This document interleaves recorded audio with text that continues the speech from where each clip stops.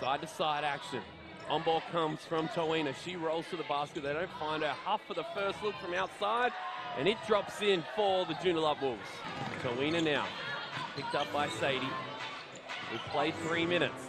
Huff for three. It drops. Smith off to the races, finds Huff.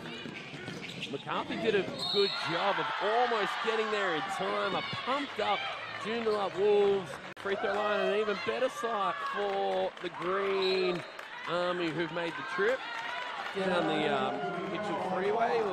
What were we hoping to gain from that experience for our referees? So it's really important that we have so much um, top end experience, a lot like the players as well. Like we turn around, we have so much top end experience.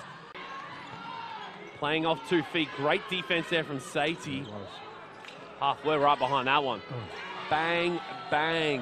Darien Huff. What he's up to now is the head of technical officials at Basketball WA. Well, Huff's up to 16 points. She's just on fire. She's about to add to that tally. She's up to 18. 18.